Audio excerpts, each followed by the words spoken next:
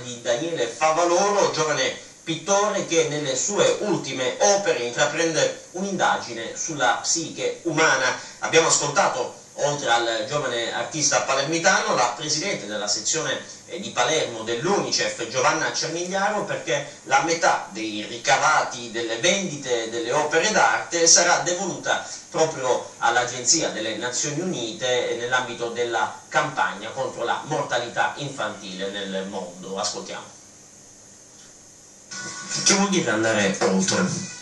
Oltre significa per un, per un, istante soffermarsi a quella che è la percezione dell'infinito, ovviamente in una chiave propria, mia personale.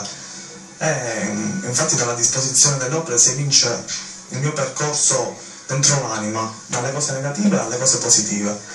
Ovviamente un, eh, tutto nasce, non tutte le opere di, di questa collezione sono state fatte con un'ispirazione ben precisa alcune opere nascono da un, da un, semplice colore, ecco questo, e poi da lì nasce, come si può dire, definisco anime che volano, ecco questo. Questa è la collezione che ho voluto presentare per, per l'Unicef. Questa eh, mostra di quadri è collegata ad una campagna importante dell'Unicef contro la mortalità infantile.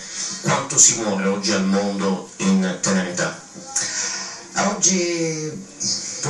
purtroppo sono 22.000 i bambini che muoiono ogni giorno sotto i 5 anni. La nostra campagna, il nostro desiderio è quello di arrivare a zero, zero bambini morti.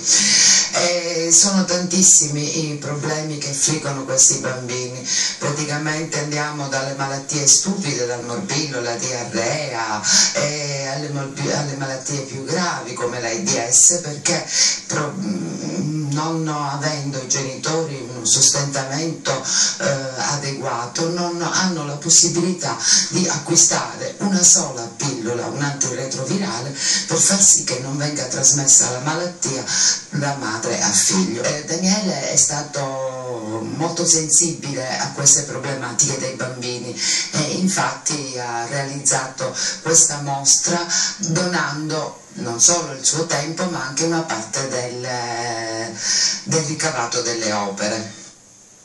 L'arcivescovo di